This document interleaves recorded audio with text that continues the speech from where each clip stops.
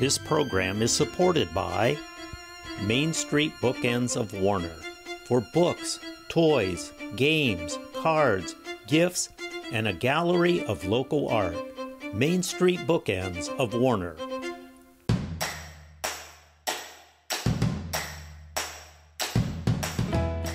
To Your Yankee Chronicle. I'm the host this week, Abby Peel.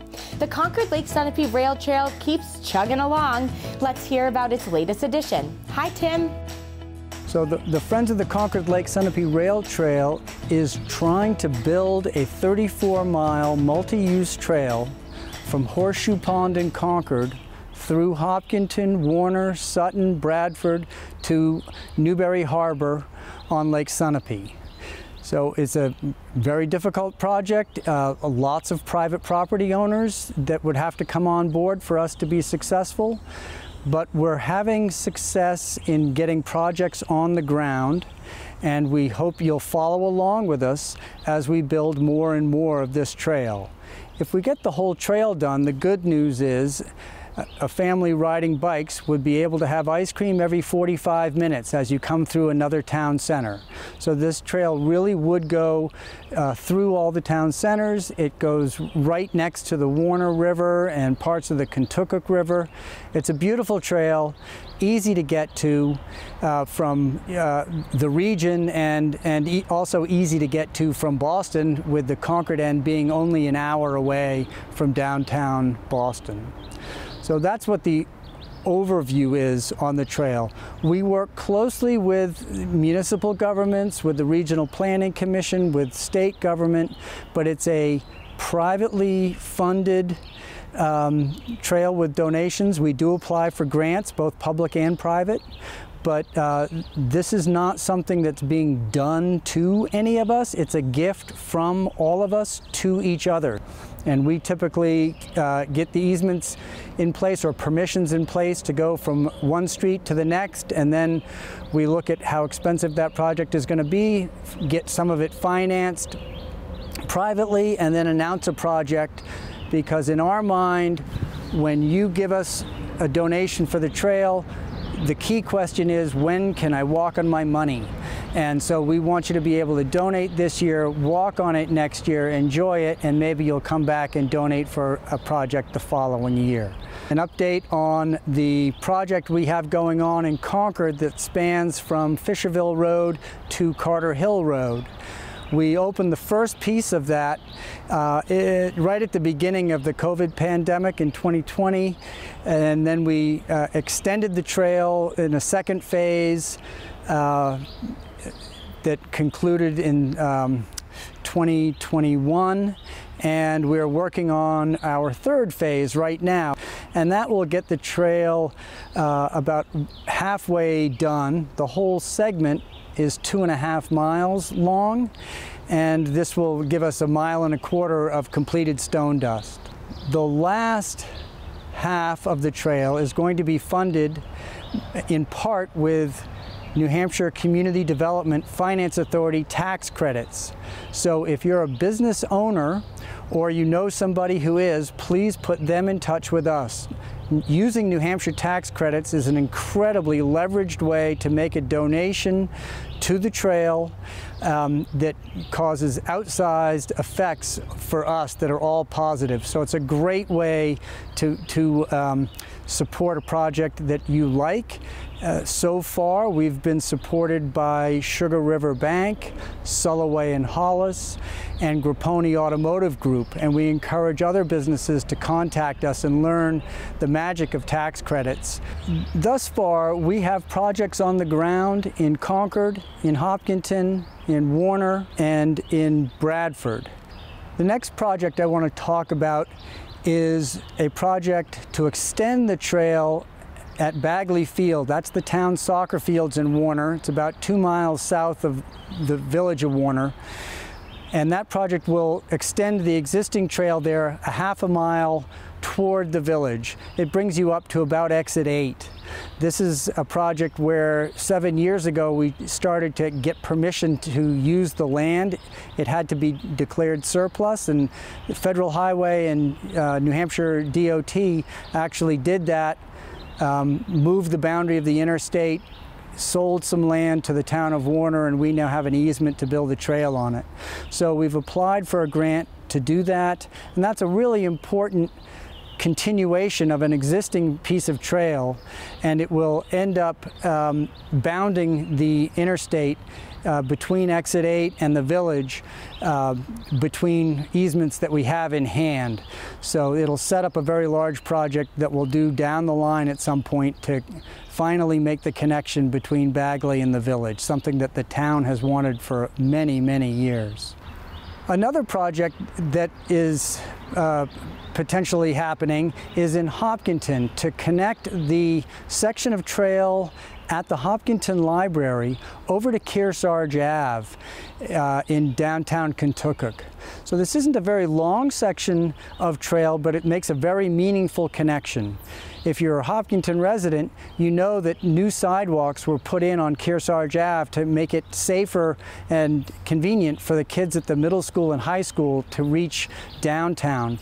This trail would come right in on a municipally owned parcel of land um, on Kearsarge Ave and connect over to a segment of the old railroad grade that was recently donated by uh, TDS Telecom uh, to the town and then connect on to the Houston Fields property. And in this particular request was put in by the town of Hopkinton.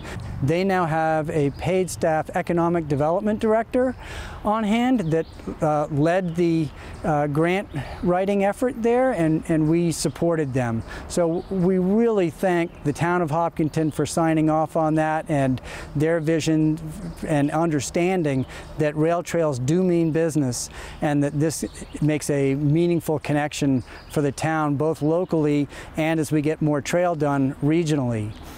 Another trail project that could be flipped up almost at any moment is in the Davisville section of Warner. The current trail in Davisville stops uh, at the beginning of the driveway to Knoxland Equipment and Magtech, uh, right next to Nycom Coatings. And we thank those businesses for their support, which made the trail possible. But we would like to bring that trail up to the edge of 103. And we've had permission to use the edge of the Davisville State Forest for a couple of years now. And um, it could be time to do a section of trail to bring that forward so that more people can discover uh, the rail trail. In Bradford, we continue to look for uh, new projects for the trail. Would like to put a top coat of stone dust down on the Tilly Wheeler section of the trail and extend that past Church Street to come in at West Main and then continue along the edge of 103 past the Bradford Pines to reach the newly rebuilt covered bridge in Bradford. So I just want to reassure you, if you live in Bradford, know that we are working very hard to get a good project defined and uh, tipped up. And if we have to split that in phases, we will, but um, you're, you're in our thoughts. I'd like to take this moment to mention that we have a unique opportunity for you to remember a loved one or, or make a gift, and that's um, by purchasing a railroad wheel set bench uh, that we would place at a mutually agreed uh, location along the trail. So we've obtained a number of railroad wheels uh, from the railroad and can convert those into long-lasting benches. Today on the trail you can see two of those in Bradford uh, near Lake Todd and there's another two in Concord. But we have uh, more available and so if you'd like to uh, consider a long-lasting beautiful uh, bench to uh, help us grow the trail please consider purchasing a railroad wheel set bench. For more information on any of our projects the two best places to go is our website, which is now clsrt.org, or our Facebook page. So you can find us on Facebook at facebook.com slash clsrt. We constantly have uh, trail-based events and uh, are announcing new projects and new initiatives.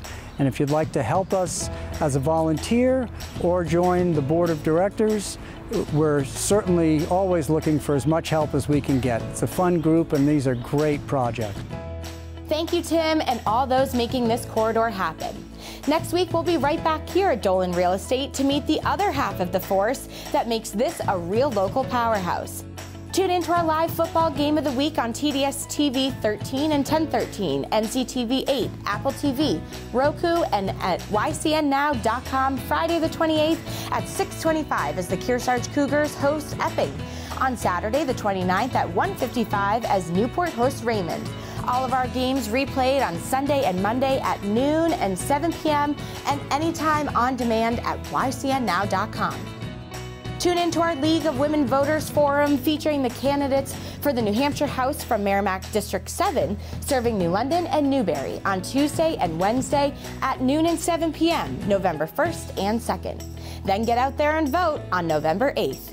Check out the program schedule at ycnnow.com for the most up to date information on games, Yankee Chronicle, and specials. Join us again next week at this same time for another round of your Who, What, Where, and When show of the Sunshine Town and Lake Sunapee region here at Dolan Real Estate. I'm Abby Peel. Stay safe, everyone. This program is supported by H.R. Clough and Kearsarge Heating. Their full service model offers oil delivery, propane, motor fuels with design, installation, service, and maintenance of all types of oil, gas, and alternative energy systems, as well as air conditioning, water conditioning systems, and backup generators. Their highly trained and friendly staff will assist you throughout the process of buying, installing, and servicing a full line of energy products. HR Clough and Kearsarge Heating. Echo Communications, a digitally integrated commercial printer and mailer located in New London, New Hampshire since 1997, with roots going back much further as the country press, AccuMail, and the home of the Kearsarge shopper. Echo Communications. Main Street Bookends of Warner. For books, toys, games, cards, gifts, and a gallery of local art. Main Street Bookends of Warner. The InterTown Record, your weekly hometown community newspaper covering the Kearsarge Sunapee Sunshine region of New Hampshire. The InterTown Record.